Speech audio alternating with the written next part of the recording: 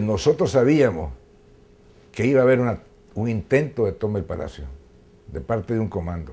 Nos lo había informado la CIA. Por esa razón, nosotros teníamos en el Palacio Nacional 50 hombres de la EVI y de las Boinas Verdes especialmente puestos donde no hubiera entrado un alma, con bazooka, con ametralladora, con bombas lacrimógenas, con todo. Y llegaban siempre que había sesión del Congreso. ¿Qué pasó? No llegaron ese día. El que hace una operación de ese tipo tiene que estar dispuesto a todo, si no es un disparate. Es decir, si no vas con la disposición de, de hacer cualquier cosa para que tenga éxito, entonces seguramente vas a fracasar, ¿verdad?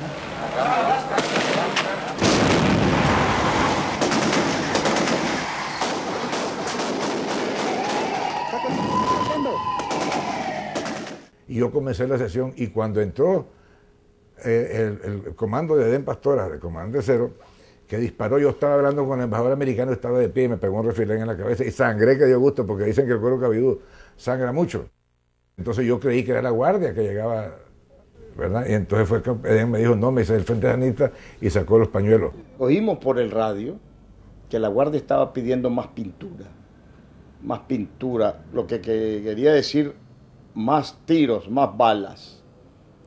Y entonces eh, nosotros nos dimos cuenta que en ese momento ya estaban listos para asaltar el palacio. La primera vez que estaba en la casa de Chema Castillo, eh, Somoza estaba más duro, una negociación más difícil, más complicada y él mucho más fuerte. Y en esta segunda negociación no tenía, no tenía la misma dureza, estaba preocupado. Y aparentemente la dictadura no, no daba cara de querer negociar hasta que estuvo completamente convencido de que no tenía remedio. Dora María se está quedando dormida y se le chorrea la carabina M2 por las piernas y se despierta, contestándome, hablando. Entonces me di cuenta de que estaban cansados y pensando sobre este tema, yo me di cuenta que también yo estaba cansado porque no logré darme cuenta en qué lugar de Managua estaba el palacio. Llamó Humberto Ortega, le expliqué, y eh, Humberto me ordenó que tomara el mando político militar de la acción, que se terminaran las negociaciones y tomé el mando político militar, mandé a parar las negociaciones e impuse la decisión de que o Somoza cedía ya o empezaba a matar diputados. Fuimos en los buses hacia el aeropuerto. Recuerdo que había mucho entusiasmo de parte de la juventud vitoriando al comandante Edén Pastora y a todo el comando. Con triunfo los seguían unos en bicicleta, otros en motocicleta, otros en, en carro y los que no tenían carro a pie. Y el comandante Edén Pastora estaba, se veía muy contento, solo se oía la voz de la comandante Doratella que decía, atentos, que todavía estamos en campo enemigo. Ese es un fragmento del documental 2519 que produjo el equipo de esta semana con Pedro Ramírez como productor ejecutivo hace algunos años, pero esos son los hechos históricos, sobre esto hay libros, hay videos, esos hechos no se pueden distorsionar, es decir, si Hugo Torres, Dora María Telles estuvieron esos hechos, no pueden ser borrados de la historia. Me da la impresión que lo que se quiere hacer es no sé qué, cambiar la interpretación, eh, eh, atribuirle un protagonismo, en este caso, pues a Pastor, porque ahora Pastor está plegado a la política de Daniel Ortega. ¿Cómo lo lee la gente hoy? Es algo peor que eso, Carlos Fernando. Es decir, la manera en cómo se maneja la historia de la lucha contra la dictadura por parte de los Ortega Murillo es para borrar a todo el mundo. No solamente nos borran a Hugo y a mí, nos borran a todo el mundo. Y todo el mundo especialmente a quienes tuvieron un papel de liderazgo o de jefatura en la lucha contra la dictadura, ¿verdad? Y eso, como te digo, ahí anda doña Rosario con un gran borrador, ¿verdad? Eh, sacando de juego a todo el mundo. Entonces vos ves, eh, ¿se destaca Mónica Baltodano en la toma de Granada? No. ¿O se destaca la gente y los líderes que se tomaron carazo? No. ¿Aparecemos los que estábamos liderando la insurrección de León? Tampoco. El acto del repliegue que se conmemoró recientemente. El acto del repliegue, ya. Bueno, ahí estaba en la tarima, estaba Payo Solís, que participó en esos hechos, pero otros de los dirigentes. bueno, la Mónica, por ejemplo, Julio López, Moisés Hassan estaban ahí. Y yo, y, por cierto, y, lo digo por, por, aclaración del público, Lea Guido, me encontré con él el otro día, me, dijo, me dijo, Lea, dijeron que yo estaba en la tarima, yo no estaba ahí, dice Lea, aunque Lea obviamente fue uno de los dirigentes del despliegue por el MPU. Y sobre todo si están vivos esos dirigentes. Ah, sí, están vivos también. Si han borrado algunos de los muertos, inclusive, y lo, lo, lo recordábamos el 19 de julio. Venía de Carlos Fonseca. Ya casi no se menciona ni a Carlos Fonseca, ni a Eduardo Contreras, ni a Oscar Turcios, ni a Ricardo Moral. O sea, solo para mencionar algunos, ¿no? Pero sobre todo si están vivos. ¿Por qué? Porque, y, más valorémoslo desde de, qué posición están esos vivos, dónde están ubicados ahora. Entonces, por eso precisamente quieren relevar a quien está con ellos, ¿no? La figura de Den, pues. Y la necesidad la quieren, sobredimensionar, sabiendo que Den no es ninguna sombra, ni para Doña Rosario, ni, para, Daniel Ortega. ¿Cómo se conecta esos eslabones históricos que ahí están, son parte de la conciencia nacional con las nuevas generaciones?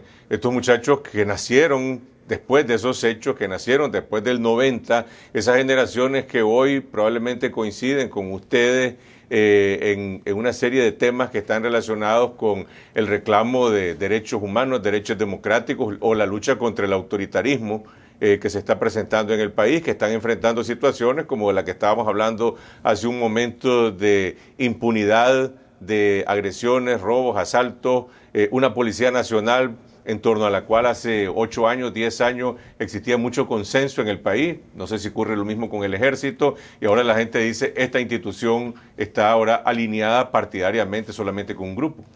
Mira, hay dos conexiones ahí, Carlos Fernando. Una, que es lo que, lo que yo me encuentro en la calle, pues, son jóvenes que, que me dicen, mi mamá me contó que ella estaba en tal punto cuando eh, se dio cuenta del ataque al palacio. O mi papá me explicó que él estaba trabajando en tal lado, es decir, la gente, el, asalto al palacio es ese tipo de acciones donde la gente siempre recuerda dónde estaba y qué estaba haciendo. Y entonces lo transmite a, los jóvenes, ¿verdad? Se lo transmite a sus hijos. Y ellos entonces tienen una referencia de una acción heroica, de una cosa de valor, de un golpe a la dictadura, y piensan también que se necesitaría un tipo de ese valor para enfrentar al régimen eh, de los Ortega Murillo, que esa es probablemente una fantasía, mm. porque en realidad, digamos, en el comando, la mayor parte no tenía entrenamiento. Una, tres o cuatro de nosotros teníamos entrenamiento, o sea, eran eh, la mayor parte muchachos jóvenes que no tenían, eran bomberos, pues habían tirado unas cuatro bombitas y eso, y nosotros tampoco eh, somos las personas más valientes de Nicaragua, es decir, lo que somos, éramos una juventud obligada a actuar, que creo yo que es lo que pasa con los jóvenes ahora. Son unos jóvenes obligados a actuar. Ahora, ¿cuál es la referente, el referente ahora? Que estos jóvenes obligados a actuar, como los muchachos de Ocupaín, se enfrenta a un modelo de represión parecido al que utilizaba eh, la dictadura, una eh, policía venal, ¿verdad? Que decir, que ha sido obligada la policía a corromperse y a hacer asociarse con unas pandillas igual a las que tenía Somoza, ¿verdad? Que son unas pandillas represivas que roban, atacan, secuestran, golpean, torturan.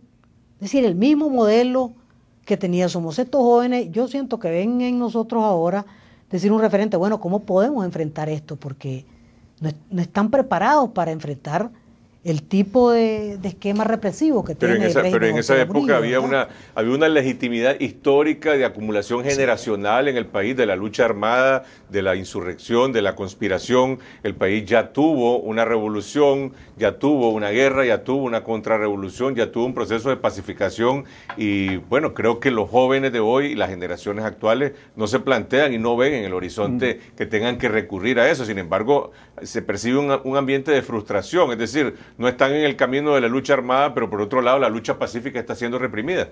No se puede traspolar mecánicamente una realidad de esa época, de hace 40, 35 años atrás, al presente.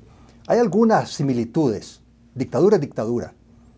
¿eh? Y el discurso que algunos de nosotros veníamos manejando ya desde hace algunos 10 eh, años atrás, cuando empezaba, y sobre todo después que Daniel Ortega llega a la presidencia en el 2007 y empezamos a ver los signos eh, políticos que presagiaban eh, esta situación actual, empezamos a advertir que estamos en presencia de un régimen autoritario con clara vocación dictatorial y que entre el autoritarismo y la dictadura solo hay un paso.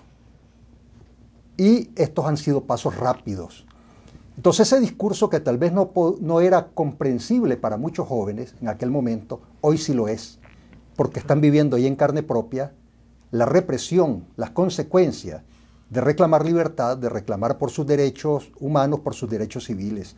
Entonces, hoy, eso que ocurrió, por ejemplo, hace dos meses, eh, con los viejitos y los jóvenes que los acompañaban cantando canciones pacíficamente en el INS, esa es una lección, una escuela de incalculable valor. Nadie hubiera deseado que para que muchos de estos jóvenes y los que vieron los acontecimientos desde la televisión o a través de los medios de comunicación, eh, tomaran conciencia, nadie hubiera deseado que fuera a través de, un, de, un, de una acción tan brutal como esa, pero la acción se dio. Y eso creó mucho más conciencia que miles de discursos, en esos y en otros jóvenes. Entonces, yo creo que los jóvenes van a ir encontrando su camino, van a ir encontrando su propio camino en la, medida en que vayan conociendo la naturaleza del régimen actual. Este régimen va repito, a paso agigantado, cavando su propia tumba, cavando su propia desgracia.